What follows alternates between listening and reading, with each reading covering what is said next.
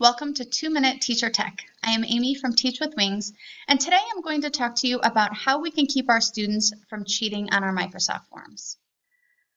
So the first thing you want to do is come over here to settings. And here we can change a lot of things that just makes it a little tougher for students to cheat.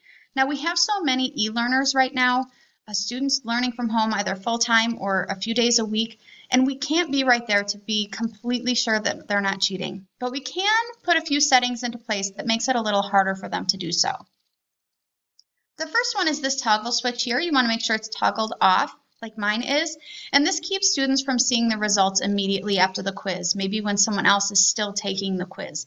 If they're not completely sure about the results and their correct answers, it makes it harder for them to share those with others. Also, you may want to use a start date and end date and start time and end time. If you are giving students a quiz and tell them that you have packed this quiz full and that they will not have time to Google every question before the time is up um, or text their friend all the time for each question, uh, that will tend to keep them on task knowing that if they do those things, they won't have time to get through the quiz. Uh, make sure you tell your students, though, that if the time is up, it will close and it will not accept the response, and you won't get anything that they've done. Okay? So you want to make sure that you tell them they must submit before that time or they won't, uh, you won't have anything to grade. Another option is this shuffle questions here.